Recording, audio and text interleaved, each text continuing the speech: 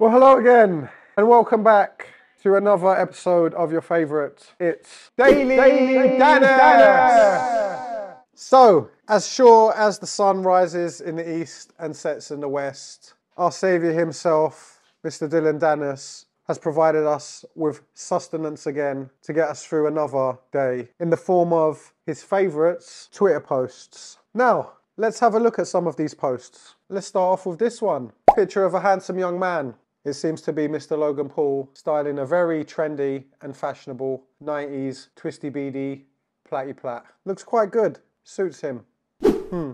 On to the next one, showing Mr. Logan Paul tasing an animal. So let's give this a watch. I'm gonna use my bare hand. Yeah, you're right. pick it Here, up. no rat comes into my house without Oh getting my tased. god! Die! Yo, he's already dead. Why? Get him! Why? No rat comes into my house without getting. Hmm. Questionable ethics going on there with Mr. Paul, but nothing out of the ordinary with that guy.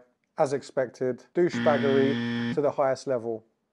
Next one, we find ourselves in what seems to look like a toilet and someone, shall we say, urinating on a primed drinks bottle. If you ask me, they've done that the wrong way round. They should take off the cap, fill it up, and put it back on the shelf. No one will notice the difference when they drink it.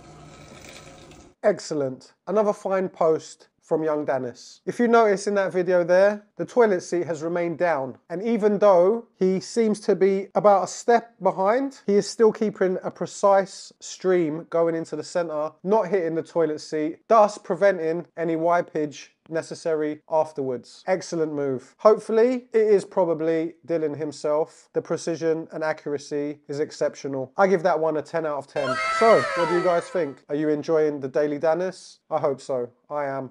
And on that one, I'm signing off.